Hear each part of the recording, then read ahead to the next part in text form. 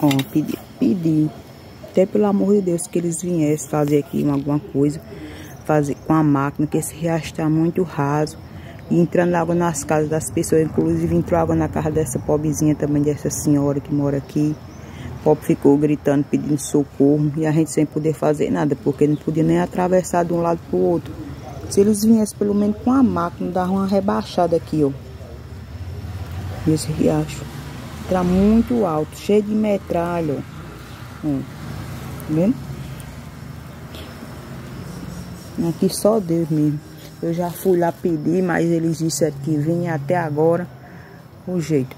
A montanha que fica na minha porta.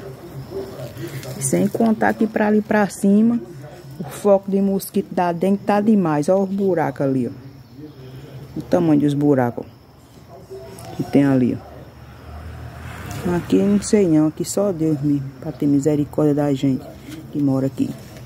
Aí as pessoas dizem, mas aqui é riacho, mas antigamente aqui não tinha isso não. Muito alto, muito cheio de metralha e eles nunca traíam uma máquina para dar uma ajeitada. Aqui é só calçando rua e a gente que mora aqui embaixo sempre prejudicado.